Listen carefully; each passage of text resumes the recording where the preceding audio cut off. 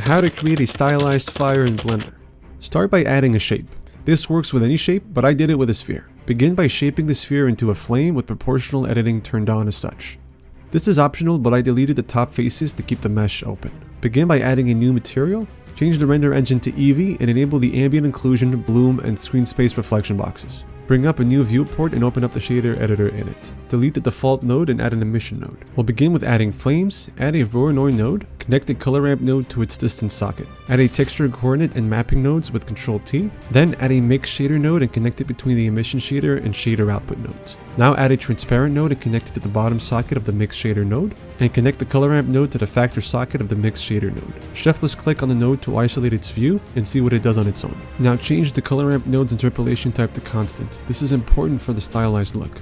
And revert its black and white values in the end, the white part will end up transparent, the black part will be your flames. Then connect the mix shader back to the material output.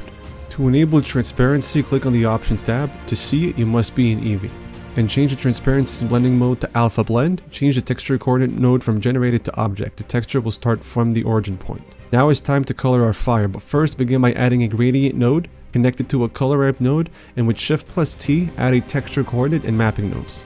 Rotate the gradient texture to 90 degrees on the y-axis for it to be vertical. Add colors on the color ramp node, set the extremities with dark red on top and bright orange at the bottom. Add the in-between colors with bright red and orange in between. Change the color ramp node's blending mode to B-spline for the smoothest blending results. Adjust the position of the gradient by adjusting the X location on the mapping node. To avoid a full transparency, I modified the white value on the color ramp node by turning it into a very light gray value. Before continuing shading the fire, I want to create a procedural animation on the mesh for it to move like fire. I begin by adding a subdivision modifier, this way I increase the mesh's resolution for smoother animation. Then add a displace modifier, it'll be the basis of the animation. Add a new texture, name it fire, and open up the texture by clicking here. And set the texture type to Voronoi. Then, back on the modifier, lower the strength a little, the mesh will soon begin to take shape. Make sure to shade smooth the mesh for a better view. Go back to the displace modifier's texture settings to increase its size. Then scroll down and enable the color ramp option and adjust the slider to your liking. For the animation, we begin to change the displace modifier's coordinates to object, then add an empty, any empty, I went with the single arrow one. Right click it and adjust its display size so it's easier to view. Then go to its object properties and enable in front so you can see it on the top of any object in your viewport. Give it a name like emp-displace. Then select it under object in the displace modifier. And as you can see, the displace texture follows the movement of the empty. As I move the empty up the z-axis, so will the texture creating a procedural animation. To make the arrow empty move on its own, I'll type the command hashtag frame forward slash 24 on its z-axis under the item tab, and as soon as I press play, it'll move on its own. To have the shaded flames move along with the displace animation, I need to go back to the shader editor. I'll select the arrow empty under object in the texture coordinate node. Make sure to have the object node connected for this to work. Make sure to adjust the flames with the color ramp node. Pro tip, to have a better view of the bloom, darken the viewport's background color. To do this, change the shader editor's view from object to world and adjust the background's color in the editor. Now it's time to add another layer of transparency on the fire. Begin by adding another mix shader node and add another transparent node by duplicating the first one we already have and connect it to the bottom socket. But before we move forward, I want to organize my nodes a little as it's getting packed. For example, I'll select the Voronoi node group that makes the flames and I'll press Ctrl plus J to join them into one frame. Then click on the node tab on the sidebar and name it in the label field and color code it by enabling color and choosing whichever color you prefer. Select all of the nodes that make the color and do the same. Ctrl plus J to join them, name the label and color code it. Now back to the second layer of transparency, add a gradient texture, Ctrl plus T to add a texture coordinate and mapping node, and connect the gradient node to a new color ramp node. And now to set up the gradient's transparent levels, shift plus click on the color ramp node, and in the mapping node rotate Y to 90 degrees to have it vertical. Connect the color ramp node to the mix shader and then the mix shader to the material output. Adjust the transparency levels with the color ramp. Don't forget that white equals transparent and black equals opaque. In the end, what we want is to cover the tipping point of the fire on top, just like that. Now it's time to add details, starting with the embers coming out of the fire. We'll begin by duplicating the fire mesh and scaling it up to look bigger than the fire, and then positioning it accordingly. Then we'll jump into the shader editor to create the embers. First off, we need to duplicate a copy of the shader as we work on the embers. We don't want to mess up the fire shader. Next, add a third slider to the color ramp node that was added as a second layer of transparency, the one connected to the gradient node. Then adjust the slider so that you're sandwiching a black slider between two white sliders, keeping the blending mode to ease. Then create the embers by scaling up the Voronoi texture and adjusting its color ramp node to increasing transparency. This way you create tiny sparks that'll act as embers. Also remember earlier when we made the white sliders value light gray not to have full transparency on the fire? Well now we want full transparency on the embers, so change the light gray slider back to a pure white. I want the embers to move slower than the flames, so I'll create a new empty for the embers that will drive their animation separately. Name the empty, I named it EMP-embers.